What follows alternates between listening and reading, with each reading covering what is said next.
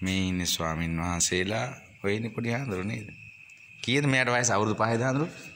මෙයාට අවුරුදු පහයි. අවුරුදු 5යි.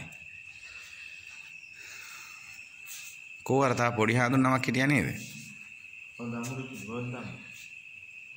අරිනේ අරිනේ එන්න. ඒ වගේ තව දෙනමද්ද කොහොද හිටියා නේද? අපේ අලකේ ඉන්න පොඩි හාන වගේ නේද? ඔව් ඒක තමයි. YouTube එකේ එහෙම කතා කියන පොඩි හාමුදුරුවෝ වගේ නේද? ඈ මොකද්ද පොඩි හාමුදුරුවන්ගේ නම?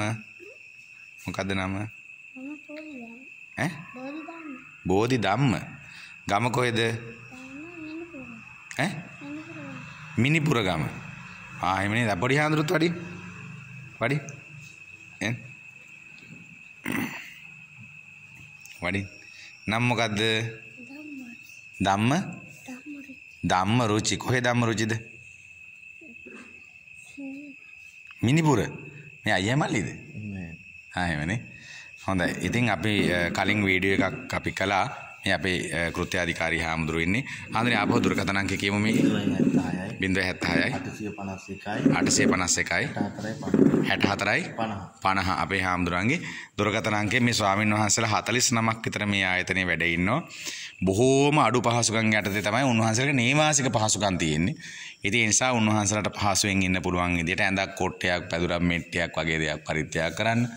විශේෂයෙන්ම මම නම් දකින දේ තමයි කාමර කීපයක් හරි හදලා දෙන්න පුළුවන් නම් කීප දෙනෙක් හරි එකතුලා මහා වැඩක් නෙමෙයි. කරලා දෙන්න පුළුවන් නම් වැලි වගේ දේවල් උනත් මේ පැති වලින් හොයා ගන්න පුළුවන්. පහසුවෙන් ඒ නිසා ඒ දේ කරලා දෙන්න කියන ආරාධනාව මම වරායයි සමිත හාමුදුරුව විදිහට ඔබට කරනවා. අ, පුංචි හාමුදුරුවෝ තව ගොඩක් ඉන්නවා. මෙතන ඉන්න ටික විතරක් නෙවෙයි තවත් ඔය වටපිටාවෙ ඉඳන් බලාගෙන ඉන්නවා. මේ පාඩම් කරන ස්වාමීන් වහන්සේලා 49ක් විතර මේ ආයතනයේ වැඩ ඉන්නවා.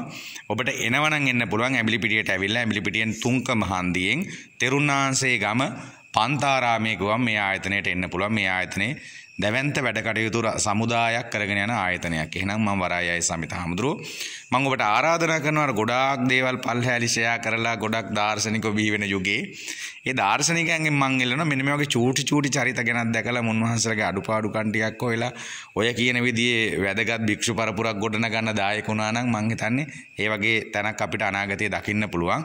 ඒ සඳහා දායක වෙන්න කියන ආරාධනාව මම කරනවා මේ වීඩියෝ එක දැක්කොත් අනිවාර්යෙන් ෂෙයා කරන්න, පළ කරන්න, උදව් කරන්න කොළඹ ඉන්න අයගේ පිටරටවල ඉන්න අයගේ දානපතියන්ගේ ඇස් සැරේවා කියලා අපි ප්‍රාර්ථනා කරනවා. එහෙනම් හැමදිනාටම තෙරුවන් සරණයි.